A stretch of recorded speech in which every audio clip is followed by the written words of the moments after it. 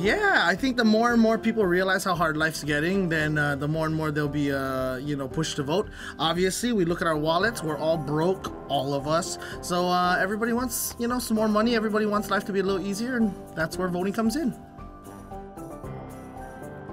I think a lot of people are turned off by the negativity.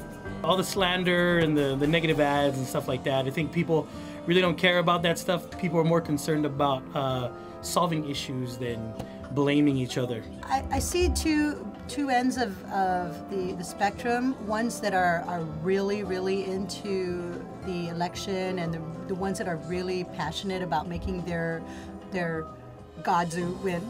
I don't know. I think it's it's kind of a balance. I mean, hoping that there most of them are passionate about it, but I think it's a it's a balance of, oh, whoever wins, or yeah, you know, I don't even vote. You know, I'm not even registered. It's kind of tough. It's it's really tough. So a lot of people just want to sit back and see what happens. But at the same time, there are those who really are just they they want to go out there, they want to vote, they want to push people to vote. I do think there's still it's still right down the middle.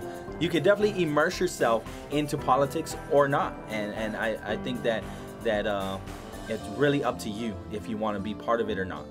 Voting is very important. Um, you know, if you're one individual who is not a registered voter, uh, well, you can't register now because it's too late. Uh, but for those of you who are registered, practice your right to vote and uh, make these individuals who are trying to sit into the office for another four years earn that spot. And really think about your decisions before you go to the polls.